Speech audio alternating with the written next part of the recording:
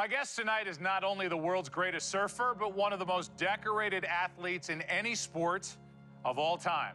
In a career spanning three decades, Robert Kelly Slater has won a record 11 world championships, has more career tour victories than anyone else in the sport's history, and was the first surfer to achieve a perfect score of 20 in a competition heat. But before he set the record for most event wins in a season, did you know he entered and won his first surfing contest at the age of eight? Traveled the coast and slept in a van as a teenager searching for waves, and was named one of People magazine's 100 most beautiful people. Well, tonight we'll learn what makes this undeniable icon who he is, a man who once said, Surfing is my religion, if I have one. Please welcome the man with the distinction of being both the youngest and the oldest world champion surfer, Kelly Slater.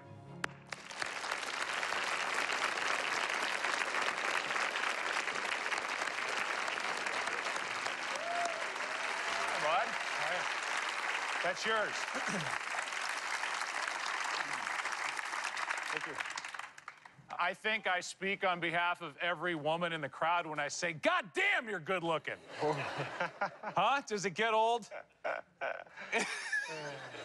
Your story is incredible. And, and the more I dig into it and the more I learn about it, the more I'm fascinated by it. Uh, you know, I'm anxious to know what life was like as a kid in uh, Florida uh, for Kelly Slater. But yeah, I grew up in a house. Older brother Sean, uh, younger brother Steven, um, three years above me and six years below. My dad was actually a really fun dad. You know, he liked to wrestle with us, and he took us to the beach or fishing or camping and anything outdoors. My dad loved. He, he taught us how to shoot and take apart guns by the time we were, you know, probably six or eight And years make old. bullets. Make bullets, yeah. But we were like Wait, you It- were a six-year-old making bullets. probably eight. Eight. Yeah, eight. I'm sorry, I don't mean to. I don't mean to offend. You were an eight-year-old making bullets. Yeah, there's a different time, you know. It was a, it was a, we were, my dad was kind of a good old boy from the South, and, and um, it- you know, uh, uh, it would seem strange to me now to have like a, a gun rack of shotguns in my house if I, you know, had my family there. But Is that, is my- that you with the, the dummy on your lap? I wanted to be a ventriloquist, yeah. Did you really or not? yeah, You just no, I did, and that was all I wanted for Christmas was that and that little, um, little uh, battery operated, operated thing that went about a quarter mile an hour. I had one of those things too, but Yeah. the ventriloquism, that's got me right now. So can you do anything like? no, if- I, not at all. But I was a huge Steve Martin fan as a kid, so Ah. I thought he was just funny. I wanted to be. I actually wanted to be an actor when I was a kid. I wanted to be a comedian, and um, yeah, I don't know. I, I remember that was all I wanted that year. I get the sense reading about you, your mom was a spectacular lady and really, really strong and the backbone. My mom moved to moved from Maryland to Florida when she was about uh, 19, and she worked out at NASA. And you know, everyone moved to Central Florida to work at the Space Center. And my mom, uh, by the time I was about eight years old, she became uh, EMT and firefighter, and she was the first female firefighter in our county. And um, you know, all the guys were trying to tell her she couldn't do it and all this stuff. And um, uh, but you know, she was determined. My mom had this crazy sort of fighting spirit. I think I get my competitiveness from her because she never she didn't grow up playing tennis, but then when she got to Cocoa Beach, she was kind of in the social club and she got into playing tennis. And there was this one friend of mine, uh, his mother, no one liked, and no one would play tennis with her. So my mom said, "I'll I'll join you. You know, we'll make a team." And my mom and her beat everyone in the tennis club. And my mom wasn't like a country club woman at all. She was like pretty sort of rough around the edges, you know. What I remember is my, my parents split up when I was about 10, 12 years old. Um, my dad moved out. My mom basically raised three kids on about $500 a week and um, kept a, you know, kept a house over our heads and gave us lunch money and got us to surf contests. So Were you competitive as a kid? I think I was super competitive. My, um, you know, Sean and I, we, we had this hallway, and um, Sean, my older brother, and I would play football in the hallway, and you had to get past each other. And I was a lot smaller than him, but it kind of made me tough and competitive. Sean and I were really competitive with a lot of different things. I, I even heard uh, in the bathtub, like who got the deep, Deep end in end, yeah, bathtub. absolutely. But the deep But end is really the front end, right? Where the water comes down. Yeah, water comes down. It's warmer. It's a little deeper. It's like you're in control. It was always that's a that's a thing, you know. You're always in control. And, you know, Sean would inevitably turn the shower on and put it on hot, and I'd get scalded. And, you know. And even, I'm sure, stupid stuff like who gets to the oh, car first. Oh, yeah, shotgun. And then, you know, my brother would make up some rule like, no, you're standing under a roof. You can't call shotgun under a roof. Shotgun. I got it. And like, wait, what? And he's like, I'm older than you. Shut up. Go in the back. like, so that, I just was constantly kind of belittled by him in that way. So I, you know, my outlet was to, I, I mean, it's it's funny, and at the same time, like it drove me to go. You know what? I'm gonna be way better than you at surfing. That's my thing. I'm gonna be. I'm gonna just be as good as I can possibly be. And so I just got really crazy obsessive about it. When was it that it clicked in? This is this is me. I'm a surfer. I'd say by the time I was seven, eight years old, I was surfing every day. I thought, wow, I, like I'm really committed to this thing. I mean, I don't know what I was saying in my head exactly, but I was thinking that, and I was just trying to define myself in some way. I was like, I'm a surfer. I think I'm a surfer. And, and so I, I realized I had this like identity with something that I loved. And I had these like, you know, hang ten shirts and OP socks and all the different surf labels. Right. And, you know, I read surf magazines. We put pictures up on our wall. And all my other friends were like into football and basketball and baseball and stuff. As a kid, my dad took me to all my contests. And he loved the contests because there was a social scene there he really liked. He got to see all his friends and he drank some beers and he you know, for him, it was a, a, a, way to go have a fun day. And he would take me to contests, and I would like go, Dad, did you see me surf? You know, He's, oh yeah, you did good, man. good job. My dad was blind in one eye, and he was drunk half the time. So, you know, I mean, I don't know what he saw, but he must have seen two of me. And tell me about the equipment that you were using back then. I mean, it's for this sport, Yeah. I mean, you need a great board. And did you have a great board to begin with? No, back then our, the equipment was pretty rudimentary. It was all made for older guys, and so they would take the big guys' boards and cut them down, so they didn't have the right curves and shapes for us. I, I just had it in my mind from an early age. I became I came out to California when I was 12, started surfing here every summer, and I made a bunch of friends, and I started surfing with all the best guys here, and I was like, I can beat these guys, you know. But Like, better waves here than better waves here, yeah, better waves out here too. Because in Florida, as a kid, you guys had to get creative. So here you have places in Santa Barbara like Rincon Point, or you have waves in the south, uh, south of Orange County like trestles that are kind of long waves and they're drawn out, and it's it's easy to take your time and draw out a nice line and sort of paint your picture on a wave. Florida, we have really short waves that are small and kind of choppy and messy, so it was a different style of surfing. You know, to, to just give everyone a, a very brief picture of it, East Coast and West Coast had big rivalries. Uh, East Coast, I mean, it's like the rap game. It's like the It's rap like the rap game, yeah. Right. No, but you know, the, the East Coast surfers kind of looked down upon, kind of frowned upon, because we didn't have as big a surf, and we didn't never have any like world champions and all this kind of stuff. So we were sort of like the oppressed group of surfers from the East Right. Coast. My favorite surfer was always Tom Curren from Santa Barbara. He was three-time world champion. I, you know, he influenced basically everyone in my generation and beyond. His style, he was, he, he grew up surfing Rincon, grew up in Santa Barbara, and his style was very flowing and smooth. And I grew up surfing with a bunch of guys who, they were good surfers, but their style was to do aerials and ollie hops and, you know, these really short, weird maneuvers that were kind of just beginning. And so I wanted to be able to blend Tom Curren power and style and flow with that more of a trick style that's kind of come in. And now it's crazy. I mean, guys are doing huge flips and, you know, 720 airs and stuff. But, um, but back then it was, you're just trying to get the board above the wave. And there was one guy in particular from Florida that was never a, a well-known guy named John Holman. And he used to go down line on a wave and get some speed, and he would jump up and like do this ollie hop and do a full 360 in the air. And I'd never seen anyone do something like that until him.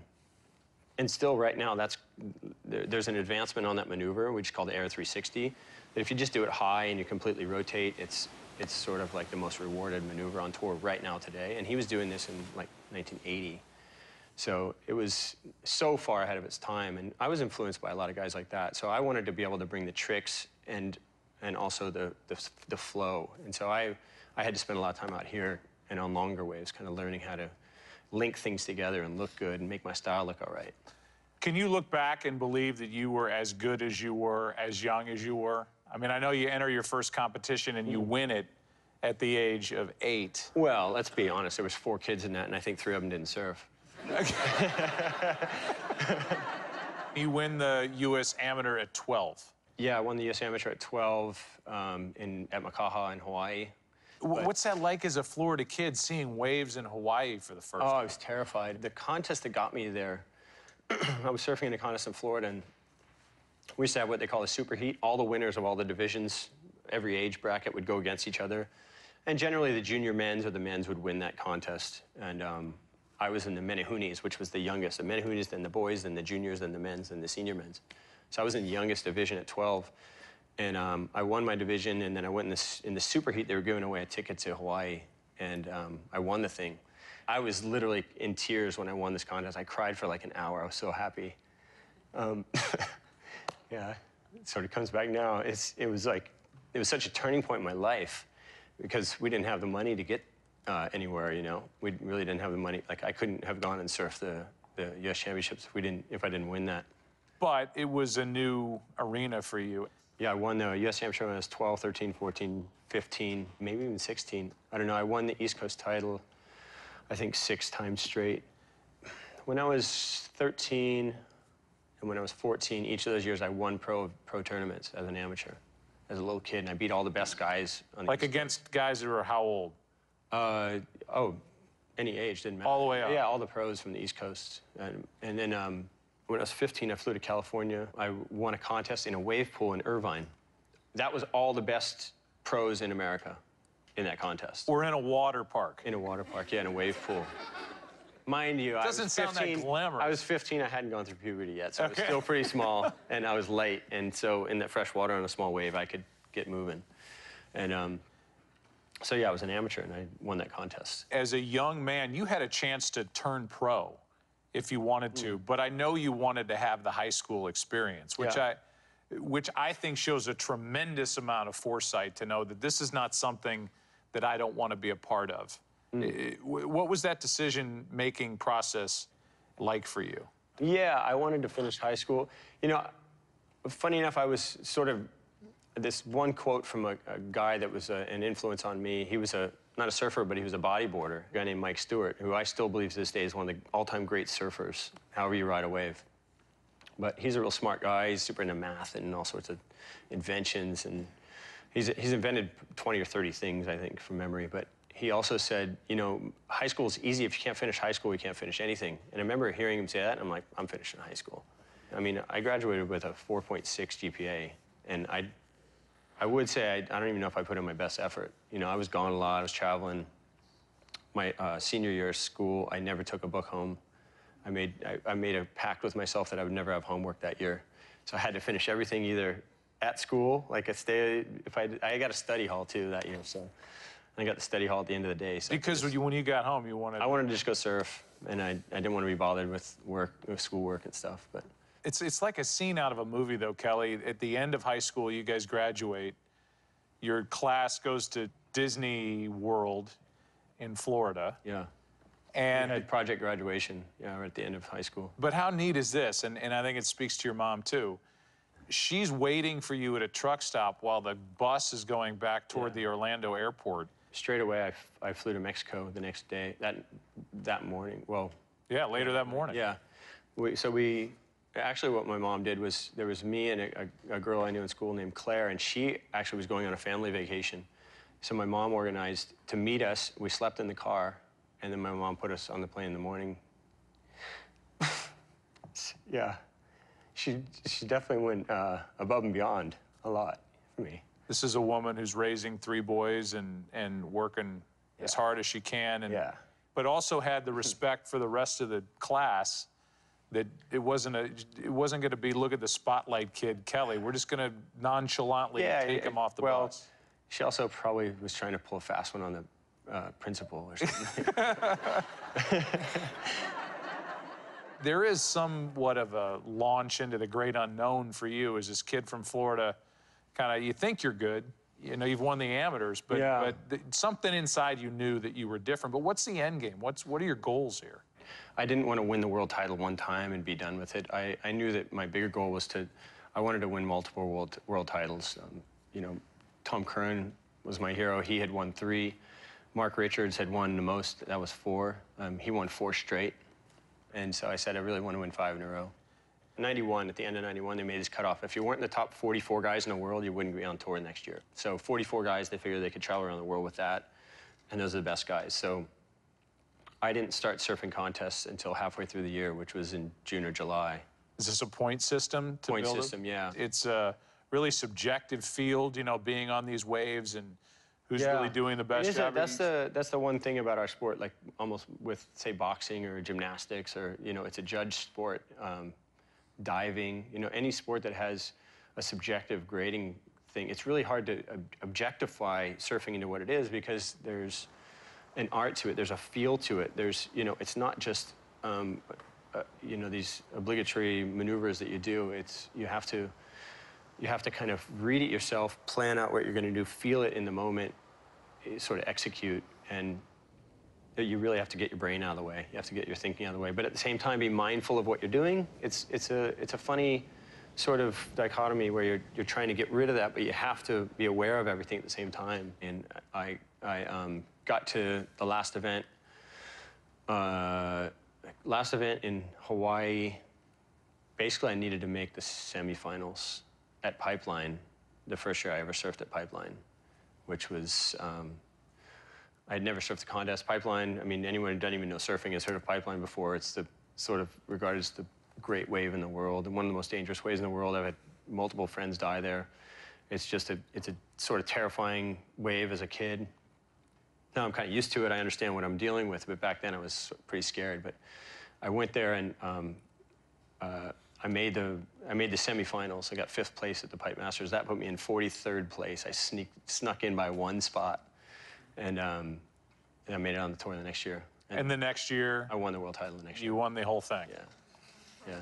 There was an, uh, a, a sponsor named Marui out of Japan that made these samurai helmets, and this was the last year they sponsored it. So they had given these away for years, but I, I was the last one to win this. Don't tell me you threw that away. No way. I saw that thing this morning. So you win in 1992, and Yeah. the validation is there, and, and your whole life kind of changes the dynamic of it. I mean, you're not only are you a great surfer, but now you're on the map, and, and people are starting to look at you differently. Differently, uh, yeah. I mean, '92 was a, a was a bizarre year for me because I also was on Baywatch, and so, thank you. Thank you for the My laugh. thoughts exactly. Now, did you guys have to run in slow motion, or did they do that post? I could run slow. I could run can? slow. Yeah. With that weird, like, spear-looking thing that's supposed to save people? Uh, the little yeah. No, Yeah. See, I didn't have to do that because I wasn't a lifeguard. Oh, you weren't? I was a surfer who was homeless who lived in his van who had run away from home. Oh, And so it was a bizarre year because I, you know, as a kid, I said I wanted to be an actor. When it became reality, I didn't want to be at all. I, I, I was dreading being on that show. At that point, I was taking what I was doing sur- surf-wise very seriously, and I didn't want it to be a joke, and I didn't, didn't want it to be seen as a joke. And I think, I think what, I- uh, with Baywatch, I equated so much of, um, you know, when they did CPR, they'd go like this, and somebody would cough up water and start talking to you, and they were fine. right. You know, and I had had friends who drowned, so I know what, I know it's a little bit different than what they show on TV. You know, so um, I, so I felt like I, I always worried about it doing a disservice to the seriousness I took around my career. You Yeah. know, around my what I considered my profession, and so. Um, I, I, I, I was thinking maybe my manager had a power of attorney or something, but, but he signed me up for the show, and he's like, no, you have to be here on a certain date. You are locked in. You are obligated. And, you, and so I had to end up flying back from Australia, and I tried everything I could to miss that flight.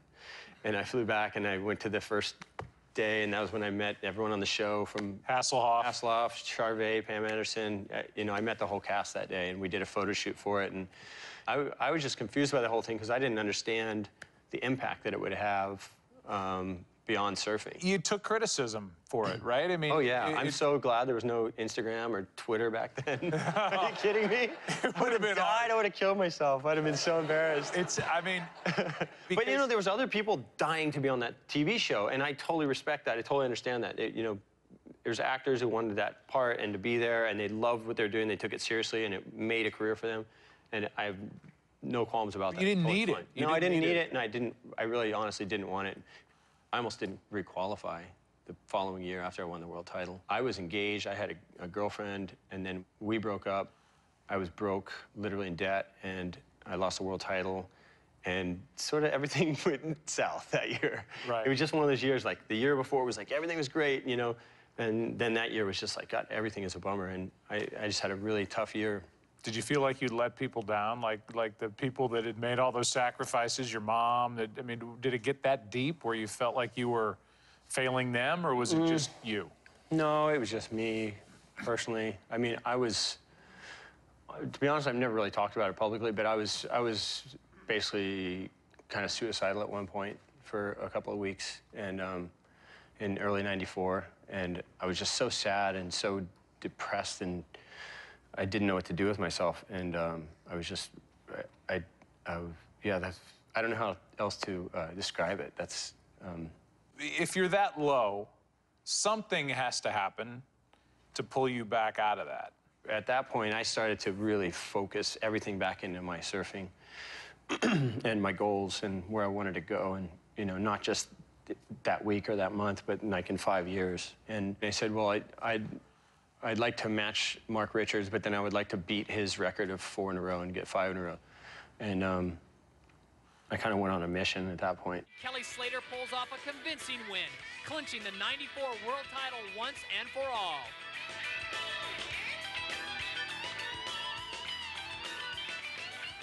I would imagine for as great as it was winning the first one, and nothing's like your first, to go down and then come back up and win it all that next year really had to be something special. Yeah, it was.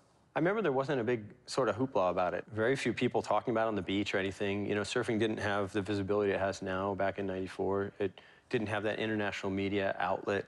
Um, you know, there weren't apps you could look at and watch it live or watch a broadcaster. You know, it was rarely ever on TV. So there, very few people knew that if I made it through the semifinals and this guy named Shane Powell didn't make it through the semifinals, that I won the world title. And I was staying with this, there was this woman that I stayed with for years, and she was at the beach. She's like, Come on, Kelly, I'm pulling for you today. And I said, Hey, if I make it through this next heat and he doesn't, I win the title. She's like, Really?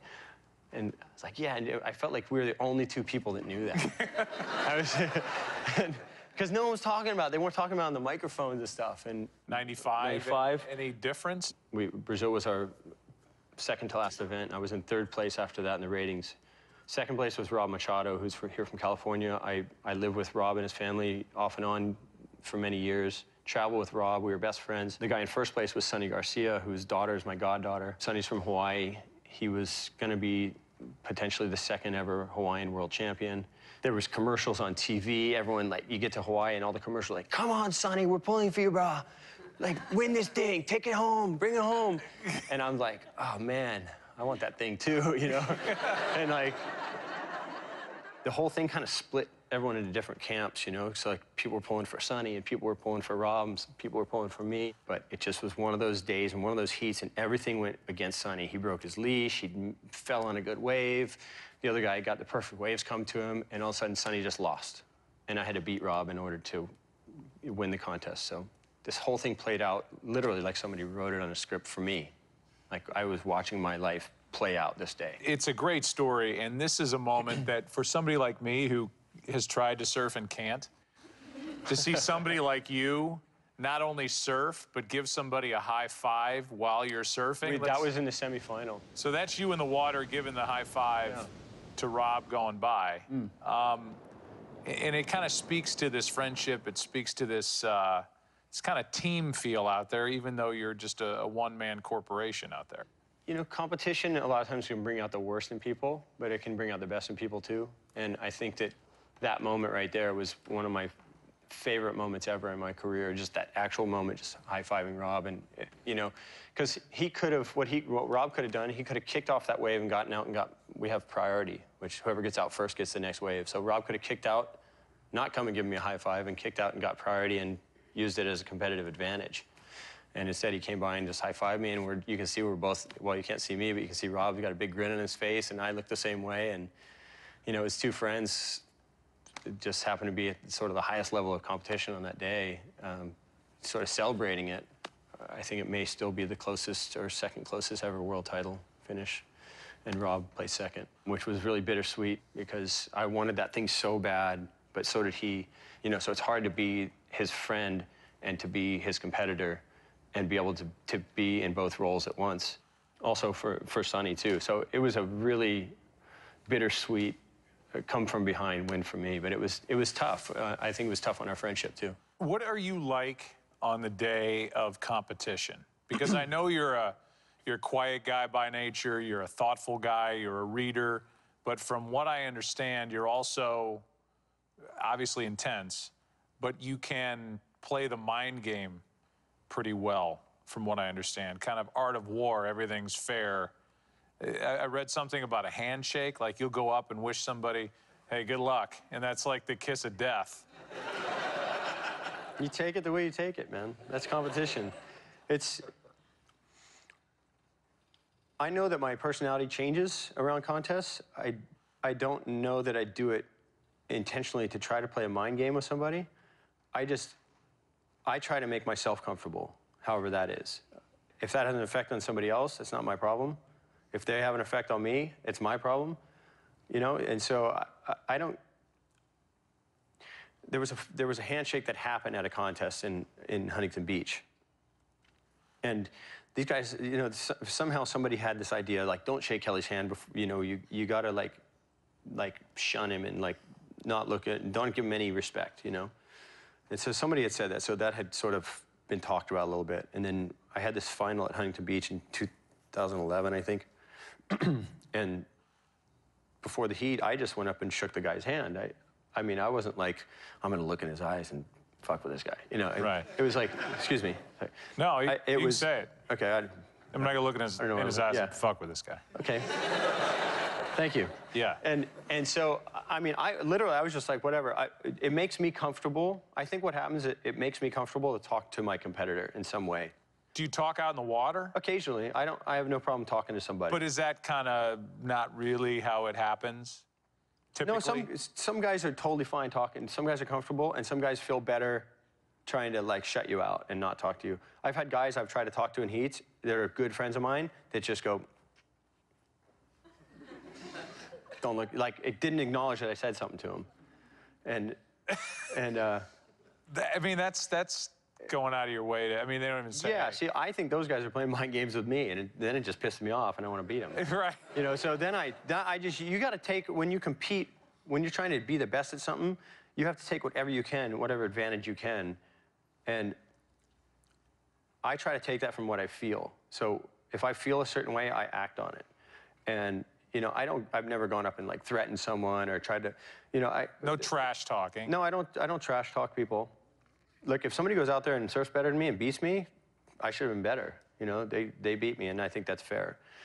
Who's with you? Are your parents coming to these events? No, I, I started in 90, at the end of 95, uh, in fact, right when I won that uh, uh, last the title at the end of the year in 95, I just started a new relationship with a girl, a girl named Jenny. We- dated for two years, um, two and a half years, something like that at that point. So she, she and I traveled together most of that time, 96 and 97. And um, I just had this crazy focus on competition and what I wanted to do, and everything was about that, you know.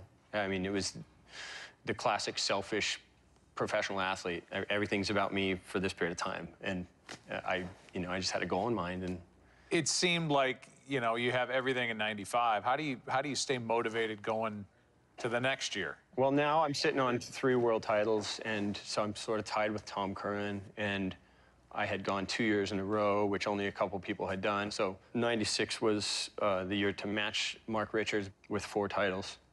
96 was my best year competitively ever by a long shot. I won seven of 13 events that year. Um, 90, 97, I won five of 12 events. So I, I won like 12 events in the course of two years. 97, I passed Mark Richards with five, but I had four in a row. So I was sort of tied with him again, you know, in my own mind, you know? Right. And so I said, I really want to win five in a row. 98 was um, almost the exact scenario I had in 95 with Rob and, and Sunny, because I was trying to win the five in a row. I was trying to win um, my sixth world title. I was coming from behind, and then it was all up to me to just go win three more heats at that point. I literally just broke down and started crying. I just like fell on the ground it was like, I can't believe this is happening right now. And and uh, luckily I had one of my mentors with me, a guy named Tom Carroll who won two world titles in the 80s. And Tom was like a big brother. We traveled together. This guy's like, he taught me about diet, taught me about working out. He's always the fittest, strongest guy on tour. Um, and Tom, when he saw this happen, he grabbed me, he said, Come here. And he took me in the house I was staying at, and he let me cry a little bit. He's like, Get it out, get it out. And he's like, And then, you know, let's do a little bit of yoga. Let's, let's sort of get yourself, get your mind calm. Let's, you know, so he got, he got me to just like relax in this yoga pose and just stretch and, and clear my mind and spend about an hour with me. And then I went out and just felt like I was on top of the world and won as many heats I needed to, and I, I won the world title. What, what sense are you getting from home from your parents about the pride they have in what their middle son, Kelly Slater, had become? Well, you know, my parents always been always been really proud of me. You know, they're proud I did well in school, and they're they're proud that I, you know, I didn't give them too much trouble growing up and that kind of stuff. Um, but um, yeah, I, I'll probably cry when I talk about this one because um, uh, my dad, my dad passed away in 2002. Um, and I never really, um, you know, I had a lot of years where I, my, when, after my parents split up, I wasn't with my dad very much. And we didn't spend a lot of time together. We, we, we had an okay relationship, but we just, you know, he never traveled with me. He never, he never saw me at one contest on tour the whole time um, I was on tour and he was alive. And uh, I flew him to Hawaii in 2001, and he spent a winter with me. Come to, he came to watch the Pipeline Masters, and um, I got second place.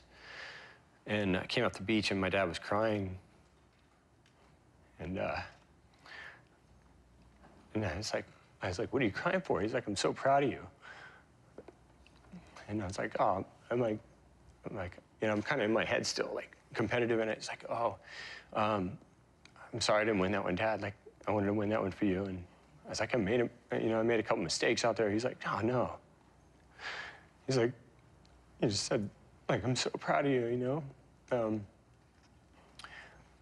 he's like, it was perfect. I couldn't imagine being more proud of my son, you know. It was the only contest he ever saw me surfing on tour. And, uh, you know, he, I had never, he had never expressed to me before how proud he was of me, and it was, it was really special, obviously. Um, and, uh, j- but just to see him, you know, he walked, he went down the beach away from everybody, so my friends didn't see him, and he was just crying by himself. And, uh, And he wasn't well then, right? no, he was, he was a few months from passing away. He, uh, he died about four months later um, from cancer. But it was, it was really amazing to uh, have that moment, you know, have that, have that time with him and hear him say that to me. And, uh, you know, my, my mom has always told me how proud she is of me she, and how thankful she is of, you know, things I've done for her and my family and stuff. But, you know, she's, she's never let it pass. She, she lets me know how proud she is all the time, you know. But my dad, that was really the one time my dad actually one to one just said, God, I'm so proud of you. And I just want, want you to know that. And, uh, yeah, so pretty, pretty uh, overwhelming feeling at the time. I was trying to like still be like, oh no, I could have won that heat. I should have taken that wave. And he's like, my dad's crying. I'm just like, oh, God, I feel like a jerk right now. I'm, I'm interested in your mindset when you've won six titles, five in a row, 98, and you go, I'm out.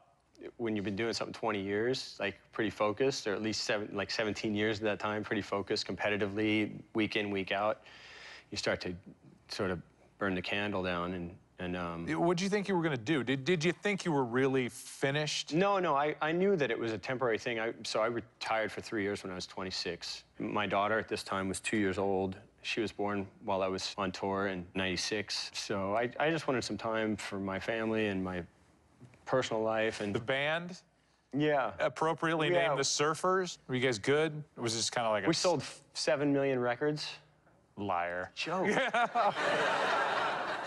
no, we, um, You could entertain. I honestly, I honestly have had people come up to me and go, "That's my favorite record I've ever listened to." I'm like, "Are you serious?" Is it on My, iTunes? my buddy, who um, he's one of the managers of Pearl Jam, and he goes, he, his name's Kelly. He he always comes up and goes, "Kelly, one of my favorite records of all time," because he's a. I don't, we were- we were produced by T-Bone Burnett, who did the Counting Crows, who did. My he worked God. with Dylan. He worked with Wallflowers. He worked. I mean, you keep going down the and list. is He- a Hollywood legend for scoring Absolutely. movies and shows. yeah, so I got into this. I on that time off, I really got into music. Why do you go back in 2001? I mean, what what are you trying to accomplish? What's Um, driving you?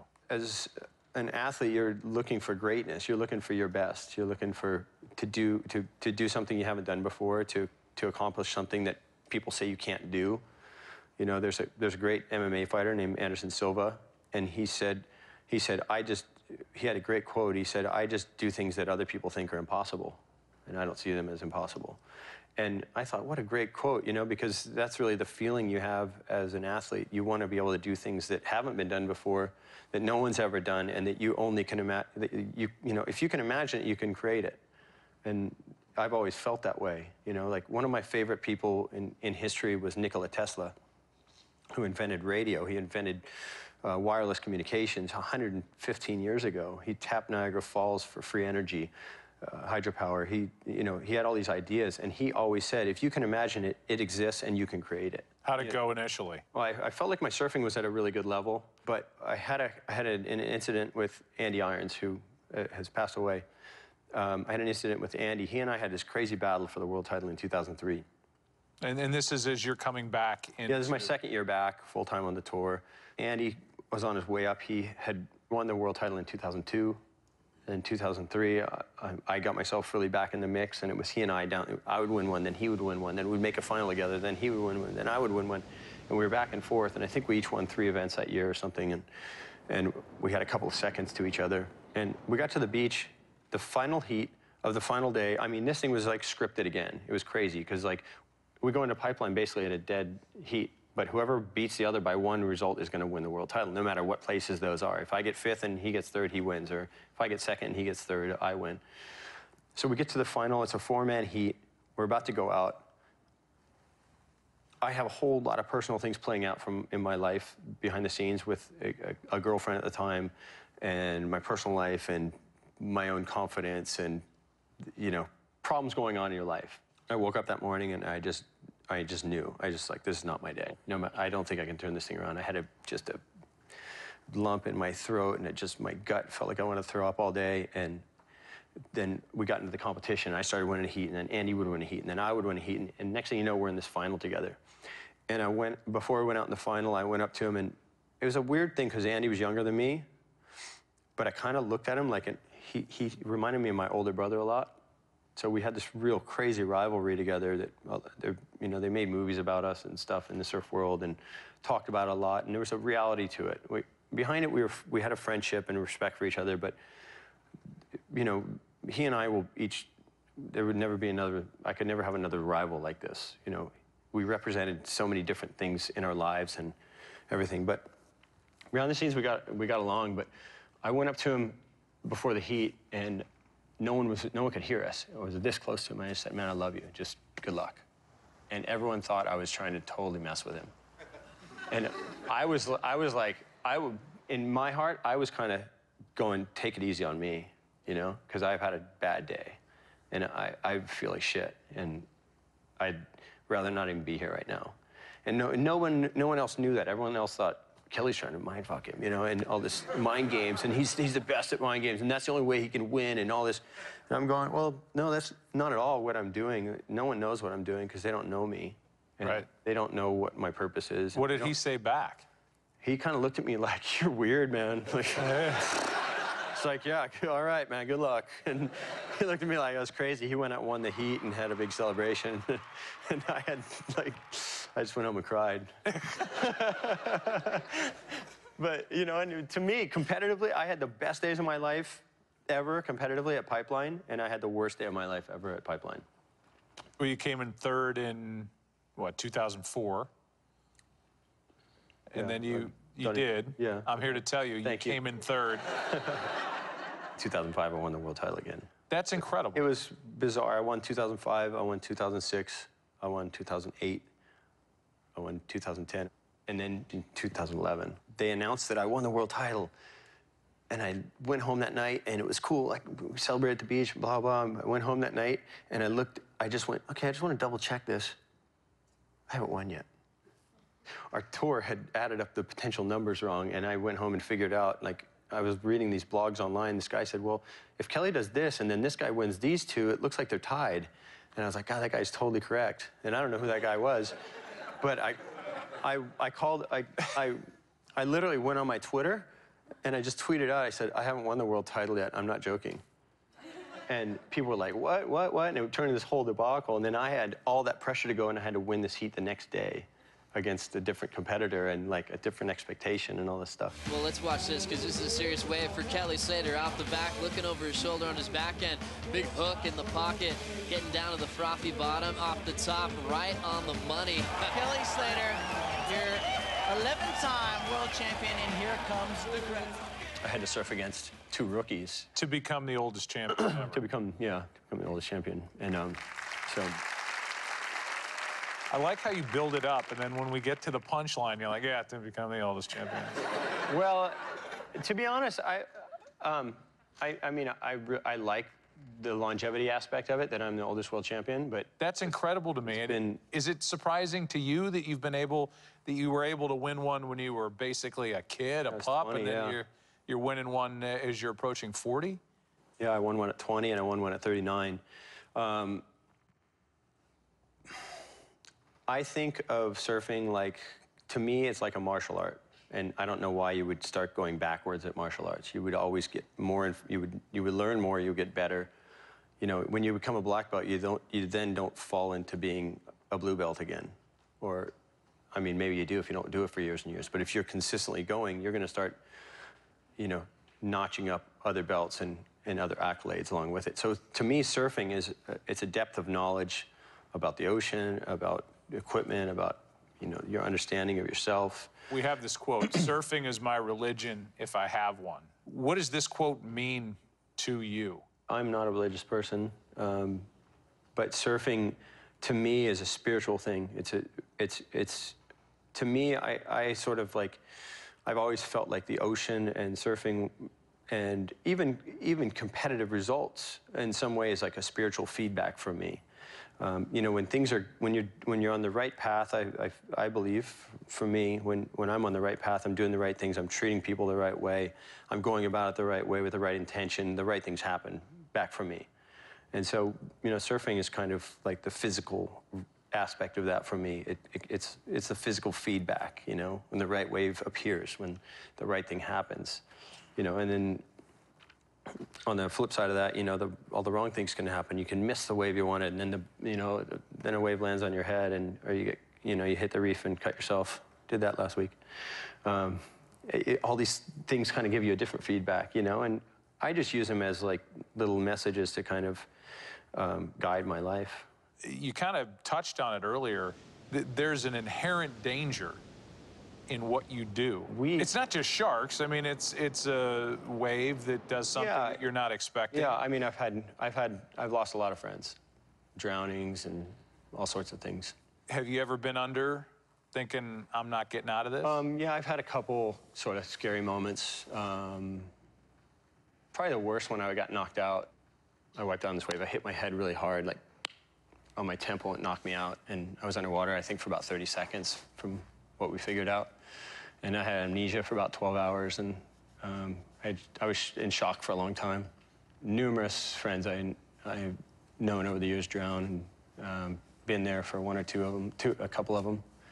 Um, so yeah, it's. I mean, our sport is very different in that we don't have a lot of really bad injuries, but the bad ones are really bad, like you know a shark attack or a drowning.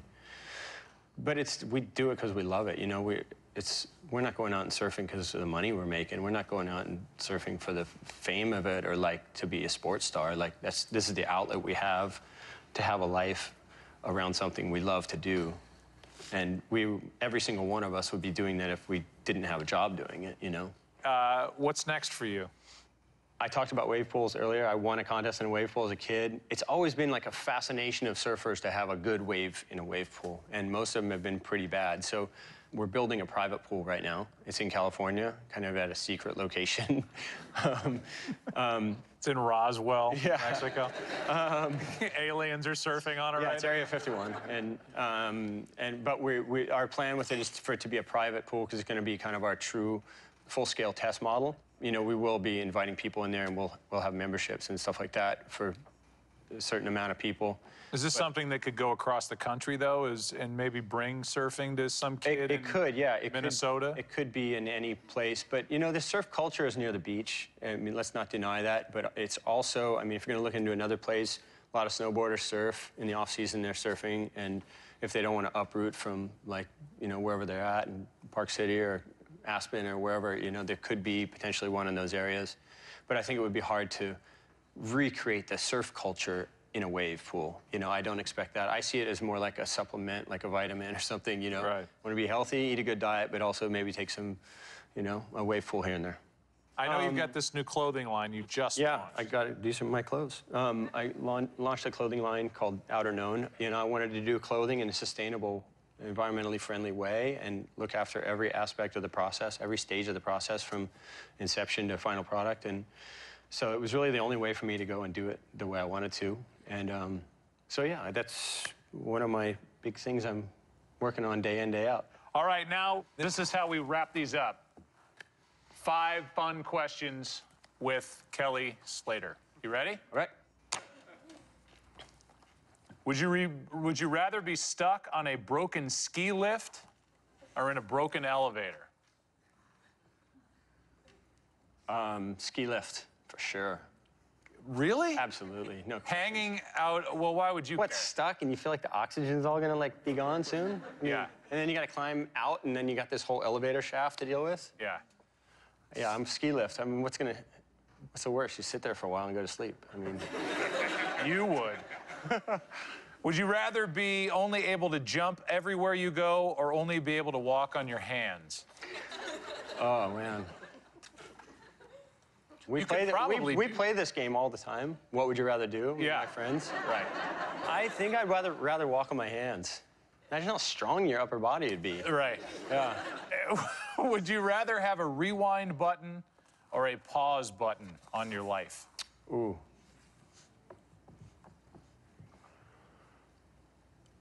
Probably pause. Because Is that one of the questions? Yeah. Is that way? I just added one. Um, I think pause. Well, I use it for a very specific reason because I would imagine myself in giant surf, putting myself in the exact right position, and if I got to the wrong position, I'd be like, pause. So now, All right, go again. would you rather live one life that lasts a thousand years or 10 lives that last 100 years each? 10, 10 lives. I've actually always wanted to have 10 of me. I swear, I, I love so many things. I want to go and just like experience each one. I, I've said for years and years, I tell a friend of mine all the time, I wish I had 10 of me so I could do all these things I want to do and really fully experience each of them. I think, I think a thousand years would be, I mean, look, 100 years might be a little sad because you're going to lose a lot of friends, but a thousand years is going to be super sad. You're going to lose like lots and lots of friends. You'd make so many new ones.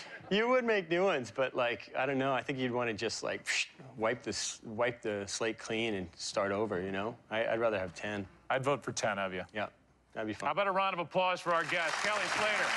Thank you, buddy. Thanks a lot. Great. Thank you. That's it. Good night. Thank you. All right.